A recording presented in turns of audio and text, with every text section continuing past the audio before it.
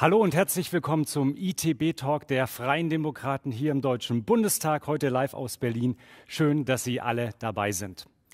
Mein Name ist Marcel Kling, ich bin der tourismuspolitische Sprecher der FDP-Bundestagsfraktion und Ihr heutiger Gastgeber. Ja, an dieser Woche wäre eigentlich die internationale Tourismusbörse, die ETB hier in Berlin. Das ist die größte und wichtigste Tourismusmesse der Welt. Aufgrund der Corona-Pandemie in diesem Jahr digital. Und genau aus diesem Grund haben wir uns auch als Bundestagsfraktion entschieden, in dieser Woche zwei Talkrunden zu spannenden Themen der Branche zu machen. Ich freue mich, dass Sie dabei sind. Herzlich willkommen. Ja, das Thema Reisen ist in aller Munde. Die Kanzlerin und die Ministerpräsidenten haben sich letzte Woche ja auch damit beschäftigt. Leider hat man im Papier, das dann verabschiedet wurde, relativ wenig über den Tourismus gelesen, was ich persönlich sehr schade finde, denn die Tourismuswirtschaft mit über drei Millionen Arbeitsplätzen und mehreren hundert Milliarden Umsatz ja, ist eine der wichtigsten Wirtschaftsbranchen in Deutschland und wird ein bisschen, wie ich finde, auch von der Bundesregierung ignoriert. Ein ähm, bisschen was zum Thema Außengastronomie stand drin, aber zum Reisen hat man wenig gelesen. Und deswegen kommen wir eigentlich auch schon zum heutigen Thema, nämlich äh, können wir unsere Koffer 2021 noch packen? Wie und wohin geht die Reise? Über dieses Thema möchte ich heute sprechen mit einer Reihe von hochkarätigen, äh, hochkarätigen Expertinnen und Experten. Ich begrüße ganz herzlich den Präsidenten des Deutschen Reiseverbands, Norbert Fiebig. Norbert Fiebig ist ein ähm, ja, ausgewiesener Kenner der Touristik, ist viele, viele Jahre schon in der Branche aktiv und jemand, der auch jüngst in den Talkshows sich sehr, sehr stark für das Thema Reisen stark gemacht hat. Lieber Herr Fiebig, herzlich willkommen. Als wichtige Stimme der kleinen und mittleren Reiseunternehmen in Deutschland ist heute zu Gast Anke Budde. Sie ist Präsidiumsmitglied im Bundesverband der Allianz Selbstständiger Reiseunternehmen, ist selber, glaube ich, auch, liebe Anke, äh, Reisebüro-Inhaberin und war unglaublich fleißig letztes Jahr am Demonstrieren. Also es gab, glaube ich, keine Demonstration, wo du nicht zu Gast warst. Schön, dass du heute bei uns bist.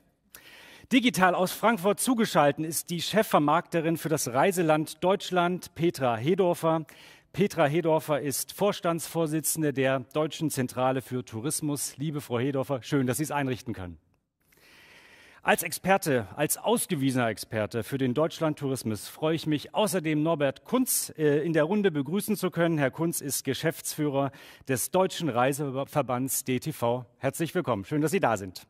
Und last but not least, für die Politik habe ich eingeladen meinen Kollegen aus dem Deutschen Bundestag und aus dem Tourismusausschuss, unseren Reiseexperten Norbert, äh, Roman Müller-Böhm. Lieber Roman, herzlich willkommen. Ja, was haben wir uns in den kommenden anderthalb Stunden in etwa vorgenommen. Wir wollen in der ersten Halbzeit so ein bisschen über das Thema sprechen, wie die Situation in der Branche ist. Dazu kann dann auch jeder Experte, glaube ich, sehr, sehr gut aus der Praxis berichten und in einem zweiten Schritt dann auch nochmal die aktuellen politischen Beschlüsse der Ministerpräsidentenrunde, die ich eben schon ansprach, dann eben auch bewerten. Und in der zweiten Halbzeit wollen wir über die Erwartungen und Wünsche der Branche an das politische Berlin sprechen und dann vielleicht zum wichtigsten Bereich kommen, wie geht es weiter in den kommenden Monaten und Jahren. Ja, dann starten wir doch in die erste Runde. Ich will gleich an Herrn Fiebig die erste Frage richten. Herr Fiebig, die ETB ist ja eigentlich immer ein großes, freudiges Ereignis von einer Skala von 1 bis 10. Wie ist die Stimmung in der Reisewirtschaft im Frühjahr 2021? Und Sie haben kürzlich, ich glaube, es war bei Hart aber fair, äh, gesagt, dass Urlaub in allen Formen derzeit ziemlich kaputt gequatscht wird. Was meinen Sie damit, Herr Fiebig? Also zu Ihrer ersten Frage, die Stimmung ist ziemlich niedrig. Wenn das die 1 ist, äh, dann würde ich die 1 als niedrigste, äh, niedrigstes Level wählen. Die äh, Stimmung ist deswegen so niedrig, weil die wirtschaftliche Situation in der Branche extremst angespannt ist. Und das hängt damit zusammen, dass im letzten Jahr 80 Prozent der Umsätze verloren gegangen sind. Und in diesem Jahr läuft es nun auch nicht wesentlich besser ein. Äh, die Vorausbuchungen für den Sommer äh, sind äh, auf einem Niveau von 26 Prozent von dem, was wir für den Sommer davor an Vorausbuchungen hatten, also eine Vor-Corona-Zeit noch. Und das spiegelt sich in der wirtschaftlichen Situation der Player wieder in den Reisebüros, die nichts mehr an Einnahmen haben bei den Reiseveranstaltern, die keine Reisen verkaufen können. Und, dramatische äh, Zahlen, Herr Fiebig. Das sind dramatische Zahlen äh, und äh, die überleben im Moment alle auch nur, äh, weil es Überbrückungshilfen gibt, die im Übrigen nicht immer punktgenau sind und über die wir uns unterhalten müssen, dass sie äh, über äh, die Jahresmitte hinaus verlängert werden müssen, weil bis dahin das Geschäft nicht wieder so angelaufen ist, dass die äh, wirtschaftliche Tragfähigkeit dann ohne Unterstützung da sein wird. Wenn Sie äh, eben gefragt haben, wie wird das begleitet teilweise aus der Politik, dann ist das in der Tat so, dass die Reise und das nimmt ja kein Ende, zunehmend stigmatisiert wird als der Treiber äh, der Pandemie von politischer Seite. Das ist äh, völlig inakzeptabel. Das ist auch deswegen inakzeptabel, äh, weil das RKI, die ja nicht im Verdacht stehen, jetzt irgendwas also Schönes. Das Robert-Koch-Institut? Das Robert-Koch-Institut, genau, die in ihrer letzten Auswertung festgestellt haben und das niedergelegt haben, dass die organisierte Reise nicht der Treiber der Pandemie ist.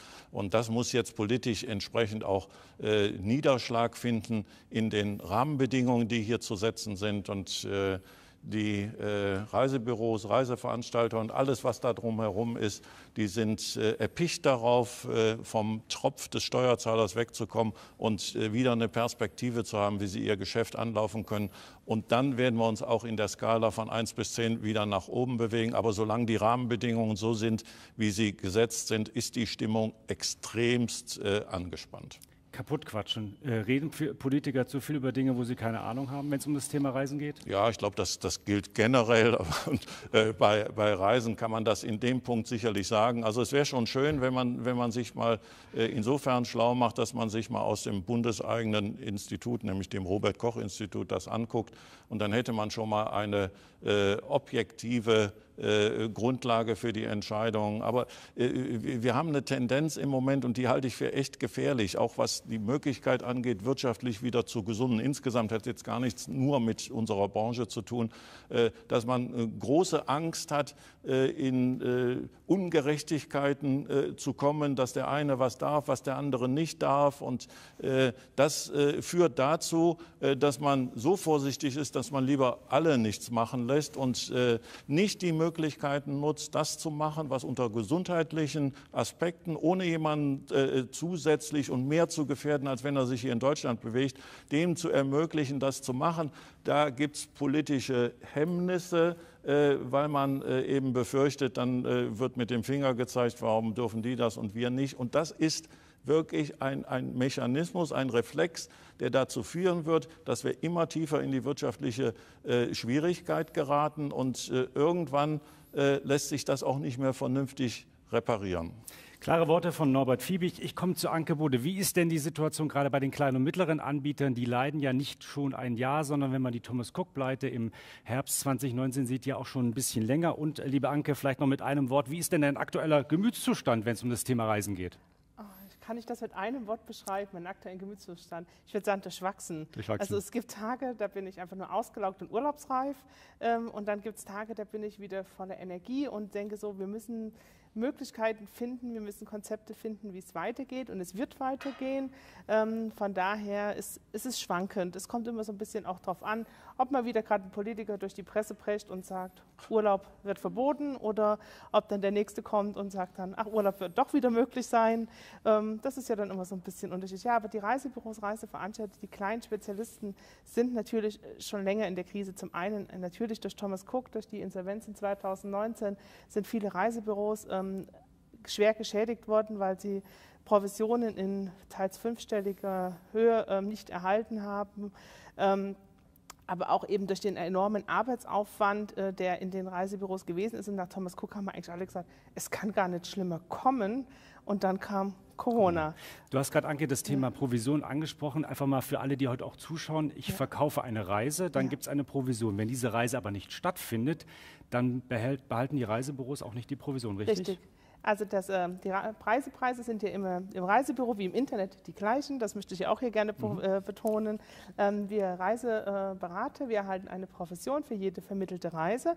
Und wenn diese Reise nicht stattfindet, ähm, wie jetzt zu Corona-Zeiten oder wie bei der Thomas Cook-Insolvenz, dann sind wir verpflichtet, diese Professionen auch zurückzuzahlen eins zu eins. und eins zu eins zu erstatten. Und das ist äh, also per Gesetz geregelt. Und da sind wir natürlich schon bei einem Punkt, ähm, wo äh, unsere Arbeit eigentlich kein Respekt gegenüber ist, weil ähm, das Reiseberaten ist kein Knopfdruck, sondern das ist viel Fachwissen, viel Arbeit das ist viel Lernen. Wir reisen natürlich auch selber, um unseren Kunden die besten Tipps zu geben.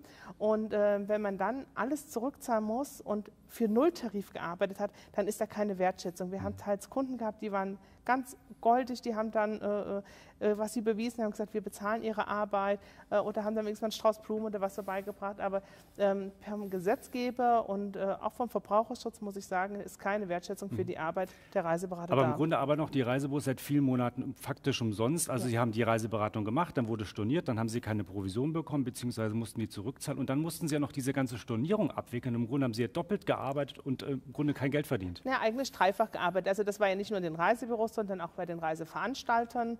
Ähm, die mussten ja auch ähm, die Reisen mit abwickeln. Also der, das Reisebüro ist ja das Bindeglied zwischen Verbraucher und ähm, Reiseveranstalter. Und wir haben alle für umsonst gearbeitet, weil auch beim Reiseveranstalter ist ja kein Geld hängen geblieben. Auch die mussten 100 Prozent zurückzahlen an den Gast.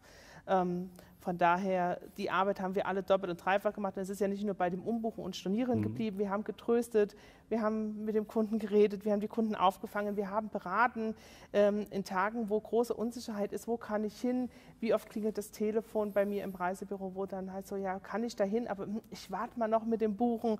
Ich habe es jetzt selber am eigenen äh, äh als eigene Person auch erfahren. Ich hatte eine Griechenlandreise gebucht, die ich jetzt storniert habe, äh, weil ich hätte sieben Tage in Quarantäne gemusst. Äh, war neun Tage das Urlaub, ein bisschen, bisschen, kurz. Bisschen kurz. Okay, ja. ich würde gerne, wir gehen gleich noch ja, mal ein bisschen äh, gerne. näher drauf ein, äh, zu Frau Hedorfer kommen, der äh, Chefvermarkterin des Deutschlandtourismus, liebe Frau Hedorfer. Wir haben ja im Deutschen Bundestag die Mittel für die DCT Anfang des Jahres noch mal ein bisschen aufgestockt, wobei ich sagen will, dass wir international da eher noch im unteren Mittelfeld sind bei den Mitteln für, die, für das Deutschlandmarketing. Jetzt ist sozusagen auch Geld da, aber wie ähm, äh, konkret wirkt sich denn die Corona-Krise jetzt auf Ihre Arbeit, die Arbeit der DZT aus?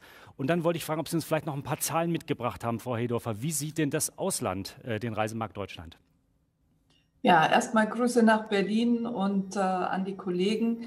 Herzlichen Dank für die Einladung, Herr Klinge, und zuallererst natürlich auch der Dank der DZT ähm, an Ihre Fraktion und an den Tourismusausschuss, den Bundestag und die Bundesregierung dass sie unsere Arbeit unterstützen. Keine Selbstverständlichkeit. Wir haben Zusatzmittel, Sie haben es eben gesagt, und ich halte das auch für wichtig, um die Wettbewerbsfähigkeit unserer Destination im Ausland auch entsprechend ähm, leistungsfähig zu machen. Wir haben auch eine, will ich sagen, desaströse Situation mit Blick aus dem Incoming. Wie ist die Lage? Es haben im vergangenen Jahr 60 Millionen weniger internationale Übernachtungen stattgefunden ein Verlust von über 20 Milliarden Euro Umsatz, der damit einhergeht am Standort Deutschland. Wir sehen, dass besonders betroffen Flächenländer sind, die stark auch vom Geschäftsreisetourismus abhängen. Das gilt auch für die Städte als Marktführer ähm, weltweit für Messen, für Geschäftsreisen, für den Städtetourismus in Europa, für Kulturveranstaltungen haben wir besonders herbe Rückschläge zu verzeichnen. Gleichzeitig sehen wir, dass wir im Kampf um Gäste im vergangenen Jahr, sobald Öffnungen möglich waren, auch wieder sehr schnell aus den Nachbarstaaten Übernachtungen aus dem Ausland sehen konnten. Das ist vielleicht äh, ein Impuls, den ich heute Morgen an alle Hörer geben will. Die Reiseabsichten sind ungebrochen. Da stimme ich überein mit Norbert Fiebig. Die Menschen wollen reisen. Sie sagen, alle sitzen auf gepackten Koffern. Das gilt auch für unsere Quellmärkte in Europa und auch aus Übersee. Deshalb ist es so wichtig, die Kommunikationsfähigkeit der Marke, die Dialogfähigkeit mit unseren Kunden aufrechtzuerhalten. Will heißen, wir haben intensiv ähm, inspiriert und kommuniziert auf virtuellen Kanälen. Physisch war das ja leider nur begrenzt möglich und sehen, dass die Reiseabsichten zwischenzeitlich Ende Januar die letzte Messung in über 30 Märkten weltweit können wir sagen, die Reiseabsichten nach Deutschland sind im Mindset der Menschen. Wenn Reiseziele abgefragt werden, wo willst du hinreisen, liegt Deutschland immer unter den Top 3, vielfach auf Platz 1. Warum? Weil wir eine starke Marke haben, die auch Sicherheit ausstrahlt. Sicherheit in der DNA dieser Made in Germany Marke. Die Menschen glauben und vertrauen nach wie vor, dass hier am Standort auch Reisen möglich ist. Das ist die gute Nachricht, die ich mitbringen kann. Dafür brauchen wir aber natürlich auch offene Grenzen und vor allem einheitliche, einheitliche Regularien in Europa. Europa unser wichtigster Quellmarkt Über 80 Prozent der Gäste kommen aus Europa. Auch im vergangenen Jahr war das so. Und äh, wir sind trotz der Verluste und weniger Menschen, die gereist sind, das beliebteste Reiseziel in Europa gewesen im vergangenen Sommer. Diese Position zu halten und auszubauen, das ist unser Ziel. Und dafür brauchen wir Tests, Impfungen und Regularien, die uns ermöglichen, dass Gäste auch wieder reisen können. Die Deutschland Touristiker, und da wird Norbert Kunz vom DTV eine Menge dazu sagen können, sind gut vorbereitet. Es gibt eine Menge Pläne.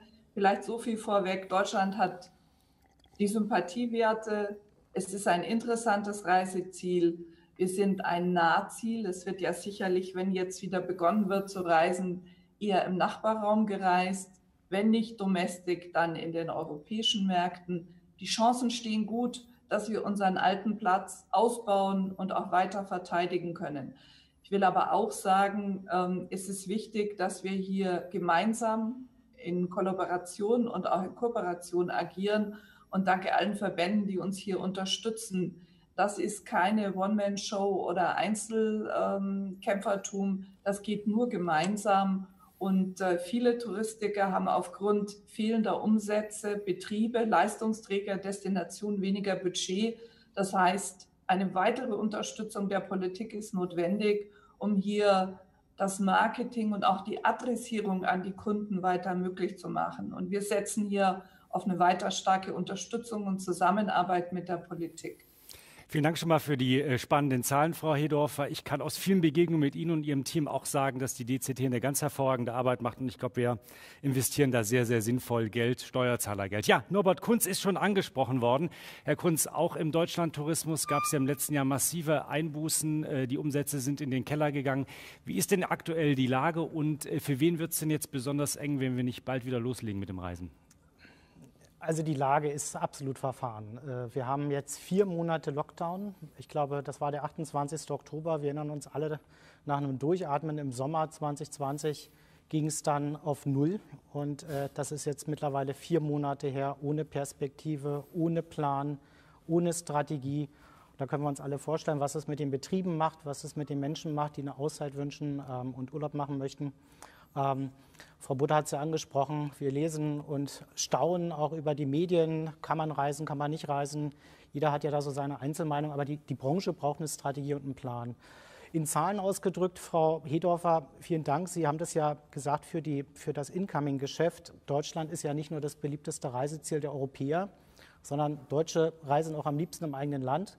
Und wir haben äh, ermitteln lassen vom DWIFT, dass es äh, ungefähr 70 Milliarden Euro an Umsatzverlusten allein von März bis Dezember 2020 mit dem Deutschlandtourismus gemacht hat.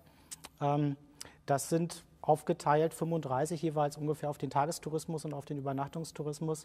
Und die Betriebe laufen auf dem Zahnfleisch, muss man ganz offen sagen. Die Rettungsinstrumente haben ja nicht so richtig funktioniert. Also da waren wir ja auch nun nicht gerade Weltmeister gewesen, sozusagen die Bazooka wirken zu lassen, sodass also das Geld, was auch dringend benötigt wird, dann wirklich schnell und bürokratisch bei den, bei den Betroffenen ankommt. Bis heute ist das ja oft so, dass wir hören, dass wir Betriebe hören, die sagen, das Geld ist immer noch nicht da, es dauert noch. Und insofern ähm, braucht die Branche jetzt dringend das Signal, wie geht es eigentlich zu welchen Konditionen weiter. So sieht es aus. Was mir sehr gut gefallen hat, Sie haben jetzt nicht so die Schere aufgemacht zwischen Incoming und Outgoing Tourismus. Ja oft mal auch das Spiel, dass man versucht, sich ein bisschen gegeneinander in Position zu bringen. Ich finde, wir brauchen beides. Wir haben unglaublich tolle Unternehmen hier in Deutschland, aber auch diejenigen, die Träume im Ausland verwirklichen. Deswegen, das hat mir sehr gut gefallen. Frau Rudolph hat sie eben toll gesagt, wir brauchen einander. Wir müssen jetzt zusammenhalten. Zusammenhalten. Ich glaube, das ist ein sehr gutes Stichwort, liebe Anke Budde. Äh, die Politik wurde schon mehrfach angesprochen. Da komme ich zu meinem Kollegen aus dem Tourismusausschuss, lieber Roman. Jetzt nach einem Jahr Krisenmanagement und Krisenzeit, wie ist denn eigentlich der Stellenwert der Reisewirtschaft in der Politik und wie schlägt sich der zuständige Minister für äh, den Tourismus, der Peter Altmaier, unser Bundeswirtschaftsminister? Wie ist da deine Einschätzung? Ja, ich glaube, äh, zu Peter Altmaier kann man sagen, man wird im Arbeitszeugnis diesen schönen Satz, er war stets bemüht, äh, wahrscheinlich eintragen, ähm, aber nicht besonders erfolgreich. Also äh, man sieht es ja jetzt auch wieder mit den jüngsten Aufdeckungen, dass da also doch anscheinend massiv Betrugsfälle äh, wieder vorgekommen sind bei den Auszahlungen, äh, die ja ohnehin schon lang genug haben auf sich warten lassen. Äh, und zudem ja, das wurde ja auch gerade schon erwähnt, oftmals für die Touristikbranche auch nur so mäßig gut äh, passend konzeptioniert sind. Insofern muss man da ganz klar sagen, ähm, äh, ist da wohl eher mit einer, äh, einer Schulnote zu sagen, die ist die Versetzung gefährdet. Ähm, äh, ich glaube, jetzt ist es wahrscheinlich für äh, Peter Altmaier eh die letzte Regierungszeit, aber trotzdem ähm, hat, der, äh, hat der Tourismus, glaube ich, im letzten Jahr in der Politik allgemein hin doch an Bedeutung hinzugewonnen.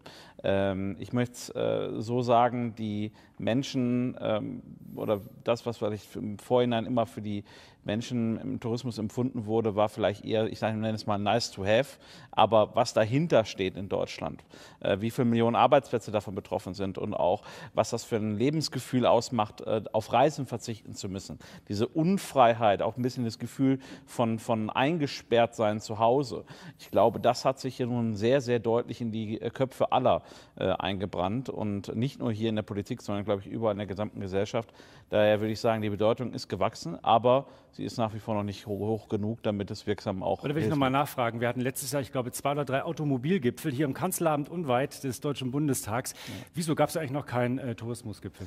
Ja, wir haben ihn die ganze Zeit gefordert äh, als FDP, aber äh, leider ist, der, ist die Bundesregierung dem nicht nachgekommen, äh, unverständlicherweise. Es gab ja dann auch äh, äh, durchaus im Tourismusbeirat, für, wurde versucht, hier Dinge abzufangen. der hat dann aber lächerlich wenig getagt, angemessen äh, äh, an Betracht der Situation, in der wir uns gerade befinden. Also insofern kann ich da nur mit großem Unverständnis drauf blicken, weil es wurde ja schon mehrfach gesagt, drei Millionen Arbeitsplätze. Das ist die Zahl, die eigentlich alles aussagt. Und ähm, wenn man dann anguckt, klar, in der Automobilbranche sind auch viele Leute beschäftigt, aber steht äh, der Tourismus dem nur ein wenig nach. Und insofern äh, denke ich, äh, hätte das auch eine ebenso hohe politische mhm. Anerkennung im Kanzleramt verdient gehabt. Okay, wenn wir schon beim Thema Stellenwert der Politik sind, eine kurze Frage noch an alle drei mit der Bitte vielleicht wirklich zwei Sätze. Fühlt ihr euch, fühlen Sie sich denn eigentlich wirklich auch ernst genommen mit Ihren Themen, wenn Sie die dann vorbringen hier im Deutschen Bundestag und in der Regierung? Herr Kunz. Also das kann man nun wirklich nicht sagen, wenn man sich die letzten Ministerpräsidentenkonferenzen anschaut. Äh, mehrfach wurde versprochen, der Tourismus äh, wird, dafür wird eine Öffnungsstrategie, eine sichere, gerechte Öffnungsstrategie vorgelegt und wir warten bis heute drauf. Wir setzen jetzt darauf, dass am 22. März endlich diese Strategie kommt. Und das, das fordern wir auch. wäre das nächste Treffen der Ministerpräsident ja. mit der Kanzlerin. Mhm. Vielen Dank, Anke Budde. Äh, nein, wir fühlen uns nicht ernst genommen. Das RKI, das Bundeseigene Institut, hat es ja bestätigt, Reisen ist nicht der Pandemietreiber. Wir haben hervorragende Hygienekonzepte äh, vorgelegt, die funktionieren. Wir haben uns selber als Touristiker davon überzeugt. Wir haben gezeigt, Reisen kann auch mit Corona funktionieren. Und man hört uns zwar zu, aber ich weiß nicht, ob man uns versteht. Ich glaube, das sind so zwei verschiedene Aspekte, die man hier betrachten muss. Okay. Herr Fiebig. Entscheidend ist, was hinten rauskommt und es kommt nichts raus, äh, was uns ermöglicht, äh, wieder äh, unser Geschäft aufzubauen. Das ist das Entscheidende. Wir finden auch natürlich mal Zustimmungen, aber entscheidend ist das, was sich dann politisch auch durchsetzen lässt und was dann wirklich stabile Rahmenbedingungen da sind. Und das ist extremst enttäuschend. Wir können unser Geschäft im Moment nicht wirklich wieder starten. Vielen Dank. Ich würde gerne überleiten zum nächsten Themenschwerpunkt, nochmal die Bewertung der Beschlüsse, die ja jetzt letzte Woche auch gefasst wurden. Äh, Anke Bode, äh, wie war denn deine erste Reaktion auf diesen Fünf-Stufen-Plan der Bundesregierung? Und du hast das RKI jetzt schon mehrfach angesprochen. Wieso hört denn die Politik eigentlich nicht auf die eigenen Experten, die sie bezahlt? Ehrlicherweise, ich weiß es auch nicht, äh, weil Sie hören ja offensichtlich immer wieder äh, auf Ihre Experten, aber nicht, wenn es ums Thema Reisen geht. Ähm, es war enttäuschend, äh, dass Tourismus kein äh, äh, da nicht stattgefunden hat in dem Beschluss. Ich darf nach Mallorca reisen, aber nicht ins Ferienhaus an der Ostsee. Wie soll ich das erklären? Ich darf in der Berliner Platte sein, aber nicht zu zweit irgendwo im Spreewald Urlaub machen und mich ein mhm. paar Tage ausruhen. Ähm, Gastronomie, Sie haben es ja über den ganzen Sommer gezeigt, wie es funktioniert. Es ist eigentlich kein Grund da, es nicht zu machen. Und wir hatten es in der letzten im letzten gemeinsamen Gespräch auch mit Herrn Barres angesprochen, dann sollen Sie wenigstens mal ein Pilotprojekt starten, dass wir es einfach mal ausprobieren, testen. Und ähm, ja, aber auch das ist leider verpufft. Abgepufft. Äh, lieber Herr Fiebig, äh, die Verbände der Reisewirtschaft haben ja jetzt unlängst ganz viele Konzepte und Pläne vorgelegt. Ich fand, das war sehr überzeugend, das hatte Hand und Fuß. Äh, an der einen oder anderen Stelle waren sie sogar strenger, glaube ich, mit sich selbst, als das vielleicht tatsächlich notwendig gewesen wäre, beziehungsweise wie ich da vorgegangen wäre. Aber warum verordnet die Politik dann weiterhin Stillstand, wenn die Konzepte auf dem Tisch liegen, wenn man viele, viele gute Ideen vorgebracht hat? Das würde mich interessieren. Und Stichwort internationaler Reisepass, der, äh, pardon, Impfpass. Äh, das könnte ja wirklich auch ein interessantes Instrument sein, um auch international den Reisemarkt wieder in Schwung zu bekommen. Wie, wie schätzen Sie das ein? Absolut. Ich fange mal mit dem Impfpass an. Ein digitaler Impfpass, das ist das, was im Moment diskutiert wird, der dann auch international Anwendung findet. Äh, das äh, begrüßen wir sehr. Da kann man wegen mir auch noch entsprechende Testergebnisse mit dokumentieren. Aber was am allerwichtigsten ist, dass wir mal erst was zu dokumentieren haben. Äh, wir haben im Moment 5% Impfquote. USA sind äh, mit 320 Millionen äh, mit Bewohnern sind Ende Mai durch. Also das, was hier bei der Impfung in, in, in Deutschland stattfindet, entspricht nicht den Erwartungen und sollte auch nicht den Möglichkeiten eines der führenden Industrienationen entsprechen. Das ist im höchsten Maße enttäuschend. So, und dann können wir uns, wenn die alle geimpft sind, ich, ich, ich würde gern die Diskussion haben, äh, lass uns alles tun, dass das, das Impfen hier nicht verbürokratisiert wird und schnell durchgeführt wird an allen Stellen, wo es möglich ist. Wir können uns auch über einen Impfpass unterhalten. Das ist aber für mich nachgelagert. Wo Zweiter Schritt. Kann ich wegen mir auch mal erst auf den Zettel schreiben, dass der geimpft ist. Das ist nicht das Entscheidende. Ich muss was zu dokumentieren haben und das dann gerne perspektivisch auch in einem internationalen digitalen Impfpass das, erleichtert sicherlich äh, das Reisen dann außerordentlich. Aber äh, es muss einfach jetzt äh, Gas gegeben werden beim Impfen. Das, das ist wirklich fast zum Schämen, was hier äh, abläuft im internationalen Vergleich. Vielen Dank, Herr Fiebig. Jetzt noch mal die Frage nach Frankfurt, liebe Frau Hedorfer. Wie sieht denn das Ausland die Situation gerade beim Thema Impfen in Deutschland? Und was würde denn im Positiven so ein internationaler Impfpass bedeuten, um auch Deutschland als Reiseland dauerhaft äh, weiterhin attraktiv zu halten? Ja, also ich zitiere unsere Kunden. Sie sprechen es an, wie blicken internationale Gäste auf das Thema ähm, Sicherheit und Gesundheit. 23 Prozent sagen, und das ist die höchste Nennung im Kontext dessen, was wichtig für die nächste Reise ist, Sicherheit.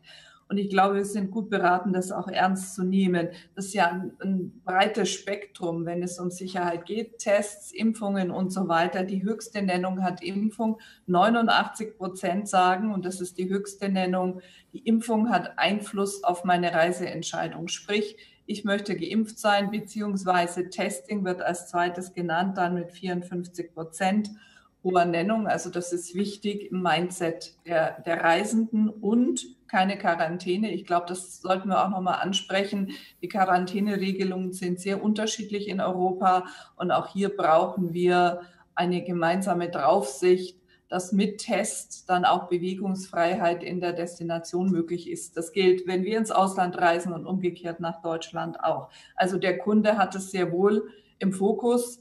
Gleichzeitig hat Deutschland immer noch gute Noten im Gesundheitsmanagement. Ich kann es nur aus den Messungen sagen. Wir sind regelmäßig im Feld. Und dort wird diese German Gründlichkeit eben auch als etwas Beruhigendes gesehen. Da mag der eine oder andere nun schmunzeln oder nervös werden.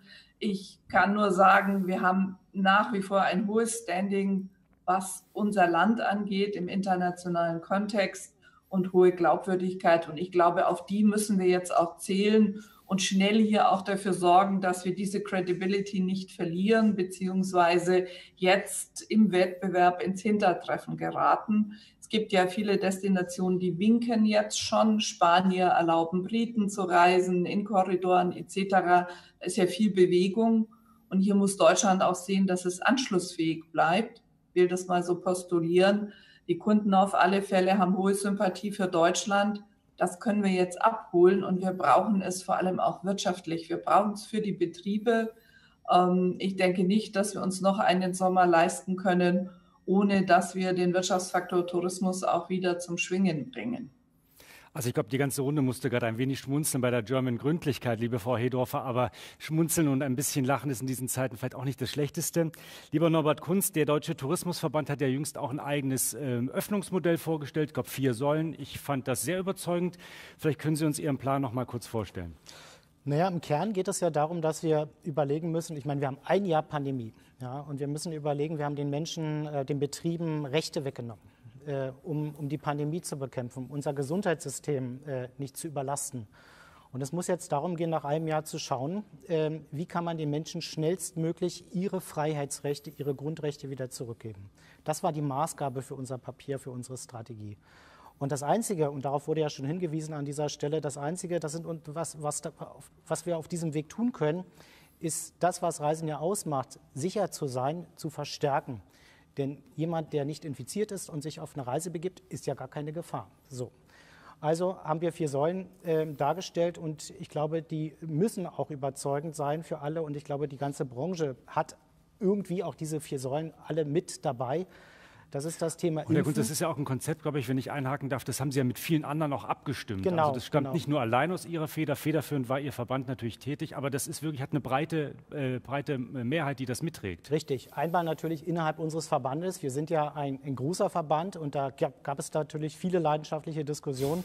Und in der Tat, äh, danach haben sich auch viele Verbände auch diesem, diesem Konzept auch angeschlossen, was uns sehr gefreut hat. Ähm, ähm, die vier Säulen impfen, testen, Kontaktnachverfolgung, aber bitte nicht nach einem Jahr immer noch auf Papier versuchen, die Pandemie zu bekämpfen. Also das, was wir mit der Luca-App erleben, also sorry, aber ein Jahr danach äh, ist ein bisschen spät, muss ich sagen. Da sind andere Länder wesentlich weiter. Und das vierte, die vierte Säule ist die, sind die Schutz- und Hygienekonzepte. Da hat ja Deutschland Tourismus, alle Anbieter haben gezeigt, wie es geht ähm, und wie man äh, Mitarbeiter schult, wie man die Betriebe sicher macht. Ähm, also mit diesen vier Säulen können wir äh, Tourismus anbieten, Reisen anbieten, die Betrieben eine Zukunft geben, eine Perspektive geben. Wir haben das noch mit einem einfachen Ampelsystem verknüpft, weil wir haben uns gesagt, es bringt am Ende des Tages nichts, wenn wir ein Ampelsystem mit 20 Stufen haben, von hellgrün über dunkelgrün bis alle möglichen Rotschattierungen und Gelbschattierungen, sondern eins, was am Ende auch verstanden wird, grün, gelb, rot. Und da haben wir gesagt, wir akzeptieren die 50er-Inzidenz. Ab dem können touristische Angebote vor Ort gemacht werden. Das muss immer überprüft werden. Wir werden mit Impffortschritten natürlich wesentlich auch ähm, äh, weiter nach oben gehen können dort an der Stelle, ohne dass es Folgen hat für unser Gesundheitssystem. Ähm, Stufe Gelb bis 35, da muss man aufpassen. Also 35 bis 50, da sind Einschränkungen an ein, ein oder anderen Stellen notwendig. Testen natürlich mhm. steht ganz weit im Vordergrund. Und unter 35 ist Tourismus auch möglich. Ich nehme ein Beispiel. Heutzutage, wenn, während wir heute sitzen, hat der Landkreis Kaiserslautern eine Inzidenz von unter 25, unter 20 sogar. Wie wollen Sie den Menschen in Kaiserslautern erklären, dass sie Ostern nicht an die schleswig-holsteinische Küste nach Dithmarschen oder ähnliches fahren können mit ebenfalls ungefähr 20 Inzidenz? Und da sind wir sozusagen schon längst in einer, in einer Entwicklung, wo, wo sich zeigt, dass mit diesen vier Säulen Reisen innerhalb von Deutschland, aber auch ähm, äh, nach, in unsere ausländischen, zu unseren ausländischen Nachbarstaaten natürlich möglich ist. Und da sind wir uns in der Branche völlig einig, dass wir diese, diesen Weg ähm, aufzeigen müssen und den Betrieben, den Reisenden da eine Perspektive geben müssen. Und das möglichst schnell. Ich muss gestehen, ich habe alles verstanden, Herr Kunz. Das heißt, Ihr Konzept ist in der Tat einfach und verständlich für jedermann.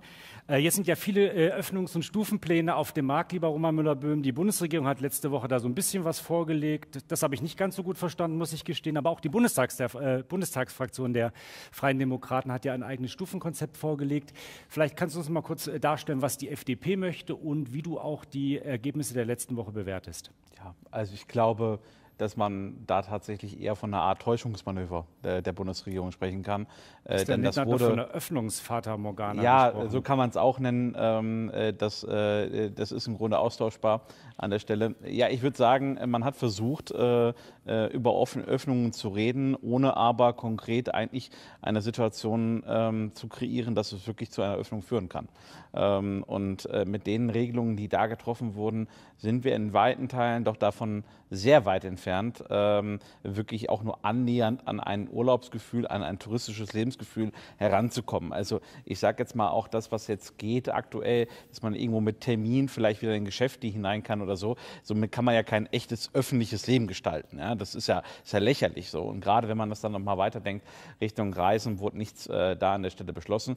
Wir haben da äh, einen Sechs-Stufen-Plan äh, vorgelegt, der ähm, sehr ausführlich beschreibt, bei welchen Inzidenzen äh, das möglich sein soll. Ebenfalls halt eben auch äh, durchaus auch mal die, die Frage aufgreift, äh, was muss sozusagen getan werden bei den Stufen selbst noch, um auch das da möglich zu machen. Man muss auch auf den Umstand eingehen, dass wenn man mehr testet, halt eben auch die Anzahl der Dunkelziffer, die aktuell doch wahrscheinlich immer noch da sein wird von Leuten, die Corona haben, aber gar keine Symptome haben, also die gar nicht merken, dass sie krank sind oder beziehungsweise, dass sie dieses Virus in sich tragen, äh, dass das ansteigt. Dadurch äh, würden die Inzidenzwerte aber künstlich verfälscht werden, beziehungsweise würden sich verzögern in eine Richtung, die im Grunde da an der Stelle gar nicht passend ist. Insofern glaube ich, ähm, äh, ist da mehr Offenheit oder beziehungsweise mehr Ehrlichkeit auch gefragt, dass man da differenzieren muss, zwischen welchen Fällen wir eigentlich auch reden. Ich glaube auch die Fallgruppe von, die ja noch gerade im Winter sehr sehr stark war, der, der Hotspot sozusagen in Alten- und Pflegeheimen. Ähm, dass das nicht der Normalzustand sozusagen draußen in der Fußgängerzone ist oder am Strand oder wo auch immer oder im, irgendwo im, Wald, im Waldgebiet, sondern das ist halt eben ein, ein, äh, ein Zahlenwert, der es künstlich nach oben treibt, wo ich denke, da muss man deutlich bessere Differenzierungsmöglichkeiten haben. All das haben wir vorgeschlagen und ähm, äh, zur Abstimmung gestellt. Ähm, natürlich äh, ist die Regierung dem Erwarten nicht gefolgt, aber äh, bin ich äh, froh, dass jetzt zunehmend die Debatte dazu anfängt, äh, dass jetzt äh, über diese Schritte endlich richtig groß gesprochen wird. Ich glaube, die Menschen merken einfach, dass es so nicht weitergehen kann. Erwartest du jetzt auch für die nächste, für die nächste Runde der Ministerpräsidentenkonferenz da mehr Bewegung in Sachen Tourismus? Also ich, äh, politisch fordern wir das ja die ganze Zeit, dass da auf jeden Fall mehr Schwung reinkommt. Es bleibt abzuwarten. Also ich habe hier äh, das Gefühl, dass äh, auch die Ministerpräsidenten un extrem uneins sind. da gibt es Ministerpräsidenten wie Herrn Söder, Söder, der ja quasi nach wie vor sehr, sehr restriktiv äh, das Ganze handhaben möchte. Es gibt aber auch Beispiele wie, bei, äh, wie jetzt Herr Günther, der äh, jüngst ja noch gesagt hat, es ist vielleicht möglich, Urlaub auch an Ostern zu machen. Ich glaube, da muss man gucken, dass sie sich irgendwie übereinbekommen. Ähm, mein, äh, äh, oder mein Gefühl ist nur, dass das äh, die Funktion des Kanzleramts wäre, hier vielleicht auch mal eine, einen optimistischen Lösungsweg aufzuzeigen. Und genau das passiert leider nicht. Der Bund sollte hier vorangehen, auch mal mal vielleicht zeigen, dass wir es drauf haben äh, als ein, eine, eine, große Industrienation und das tun wir nicht. Also wir versagen da an, an so viel, unendlich vielen Stellen und ähm, das ist da wirklich schon extrem beschämend. Das wird ja gerade schon richtig gesagt, dass wir es da nicht einfach besser, besser machen. Vielleicht noch ein Satz zur Frage, wieso wird das eigentlich alles in diesen Runden besprochen, der Ministerpräsident mit der Kanzlerin und nicht hier im Deutschen Bundestag? Ja. Auch das ist etwas, äh, was äh, mindestens mal fragwürdig ist, äh, weil die Verfassung sieht so eine Runde gar nicht vor. Ähm, äh, das ist so in der Form niedergeschrieben, dass eigentlich die Ministerpräsidenten und die Bundeskanzlerin da beraten, sondern es müssen Parlamente tun. Und ähm, äh, sicherlich muss man da schon immer sehr genau hinschauen. Wir haben mehrfach eingefordert, dass wir nicht nach diesen Runden im, im Parlament und im Plenum darüber sprechen, sondern bereits davor, dass im Grunde die Bundeskanzlerin aus dem Parlament den Willen der Fraktion mitnehmen kann und dann in diese Runden geht. Und genauso das Gleiche wäre auch zu erwarten eigentlich äh, von den entsprechenden Landesregierungen, dass sie den Willen der Fraktionen aus dem Parlament vorher abfragt und nicht erst danach nur berichtet und dann der übliche Schlagabtausch beginnt. Ähm, aber leider ist da keine Besserung in Sicht. Ähm, ich kann nur sagen, dass wir uns als FDP aber dennoch weiterhin stark dafür machen werden, mhm. äh, dass es da deutlich äh, offener zugeht und auch transparenter zugeht gegenüber der Bevölkerung. Denn niemand kann sehen oder äh, wirklich sich angucken, was in dieser Runde gesagt und besprochen wurde. Das Parlament wird immer live im Fernsehen übertragen. Äh, ich glaube, das äh, wäre schon dann der angemessenere Ort dafür. Das nächste Treffen ist kurz vor Ostern, wenige Tage. Deswegen nochmal äh, jetzt abschließend für diesen Themenkomplex die Frage an Sie drei mit der Bitte um eine kurze Antwort. Wie schnell kann denn eigentlich der Tourismus, diese ganze Kette, das ist ja nicht nur einer, das sind ja viele, sind viele Zahnräder, die ineinander greifen. Wie schnell kann denn eigentlich äh, alles hochgefahren werden, Herr Fiebig? Ja, ich glaube, die äh, Reisewirtschaft ist da äh, relativ, äh, relativ flexibel und auch leistungsfähig, relativ schnell die Dinge wieder hochzufahren äh, und äh, die Charterketten entsprechend äh, aufzustocken. Was es für uns braucht, ist auch als, als Basis, die Quarantäneregelung muss weg.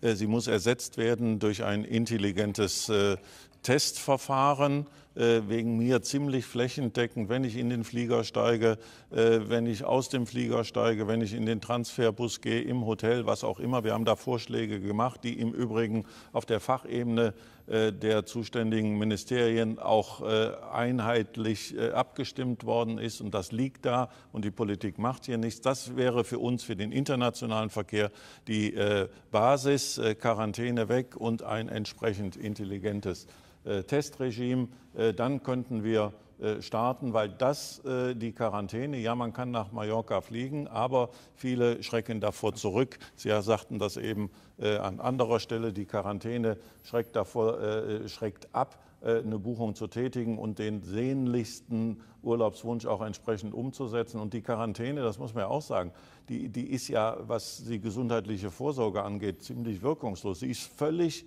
unkontrolliert. Ich weiß nicht, ob Sie mal mit Leuten gesprochen haben, die diese Quarantäne in ich diese weiß, Quarantäne ich, schon viermal in Quarantäne. Es so, gibt Schöneres äh, da Ich kenne keinen Fall, wo, wo, überhaupt mal Kontakt von dem Gesundheitsamt aufgenommen ja, worden ist. Äh, das heißt, es ist völlig unkontrolliert und ein äh, entsprechend äh, clever aufgesetztes Testsystem bringt eine sehr viel höhere äh, Sicherheit als dieses völlig nutzlose äh, äh, Quarant die Quarantäneregelung. Ich, ich laufe immer gerne mit dem Beispiel der Kanaren rum oder, oder Balearen. Die haben im Moment eine, eine Inzidenz von, von 20.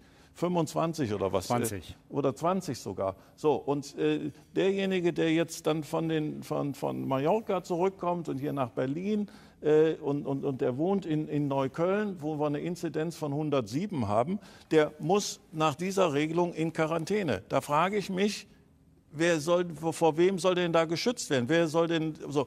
Und, und, und dieser, dieser Irrsinn, der inhaltlich überhaupt keinen Sinn macht, der muss jetzt mal abgeräumt werden. Äh, und das gilt für, für Deutschland genauso. Äh, nur ein Beispiel. Ich bin jetzt nicht für den Deutschlandtourismus hier, aber dass Ferienwohnungen beispielsweise auch nicht äh, zumindest mal die Politik dieses Ventil nutzt, um mal die Ferienwohnungen, wenn man, wenn man noch argumentiert, obwohl die viel getan haben. Und ich glaube, da gibt es auch keine, äh, keine äh, wirklich hohes äh, Gesundheitsrisiko äh, in, in den Hotels und, und Pensionen. Mhm. Die haben viel getan, äh, Abstand und Hygiene. Aber selbst wenn man das mal sagt, das ist mir noch zu unsicher. Ferienwohnung. Ich habe eine, eine Ferienwohnung in Husum. Da fahre ich mit der Familie mit dem Auto hin.